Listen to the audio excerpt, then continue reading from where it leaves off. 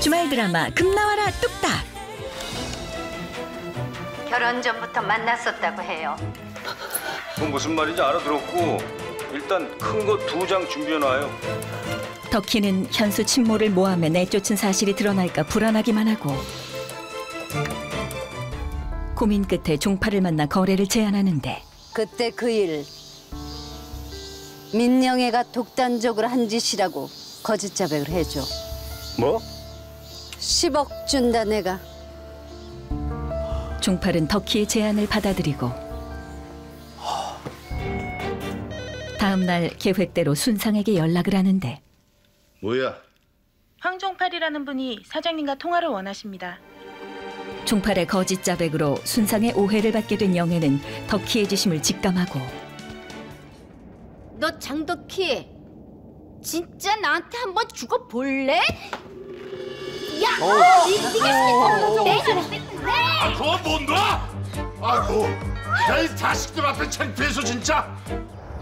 사실 종팔은 덕희에게 돈을 받아낸 뒤 뒤통수를 치려 한 것인데 택배 왔어요. 황종팔이라는 사람이 보낸 거예요. 안 돼! 안 돼!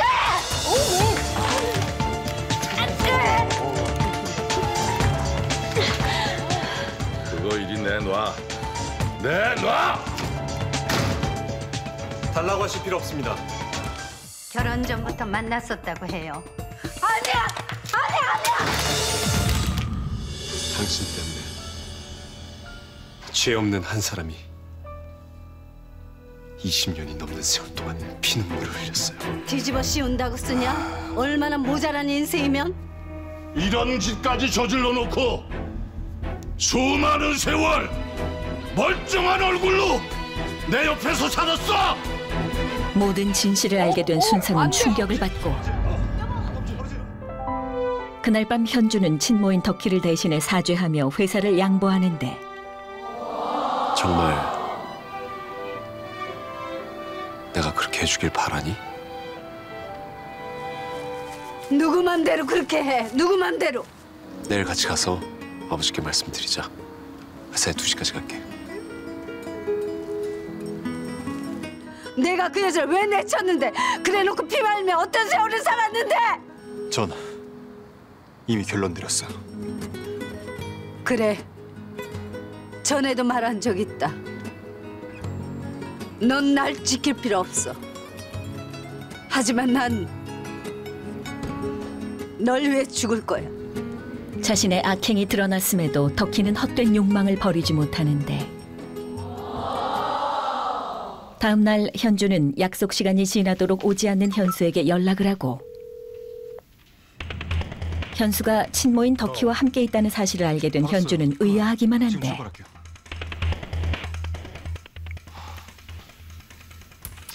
넌 날 지킬 필요 없어. 하지만 난 널 위해 죽을 거야 덕희의 말을 떠올린 현주는 불길한 예감이 들고 황급히 현수의 뒤를 쫓아가는데 그 시각 덕희는 현수에게 회사를 포기할 것을 강요하고 그건 이미 현준이와 의논이 끝난 얘기입니다. 난 죽어도 내 아들이 아닌 다른 사람이 회사 물려받는 꼴은 못 본다. 다른 사람이 회사 물려받는 꼴은 못 본단 말이야. 아, 지금 뭐 하시는 거예요?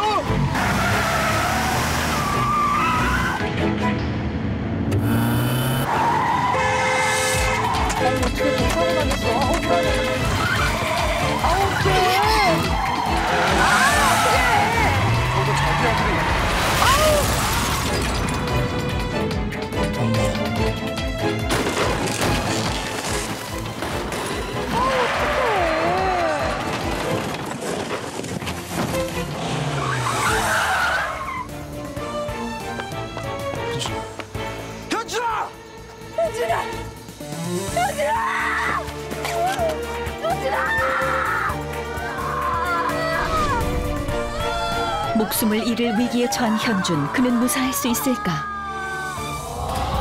지금까지 놓칠 수 없는 해피타임 간추린 TV였습니다.